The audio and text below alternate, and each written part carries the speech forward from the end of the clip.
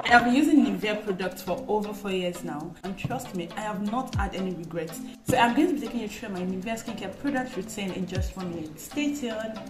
So the first thing I use is use my 3-in-1 micellar water. Next thing I'm going to be using is my 3-in-1 cleanser. I'm just going to be damping my face with little water. Put it up on your face. Just go over it like this.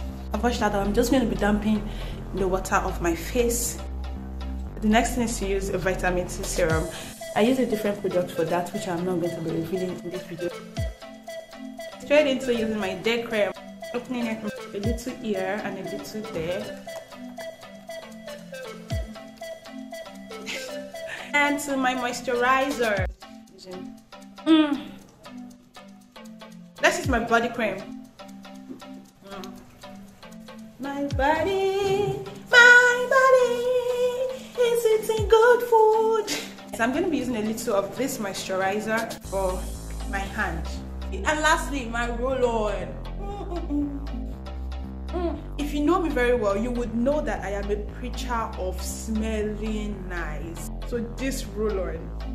So that would be all for this video. If you have tried out Nivea products before and if you would be trying out Nivea products, let me know in the comment section.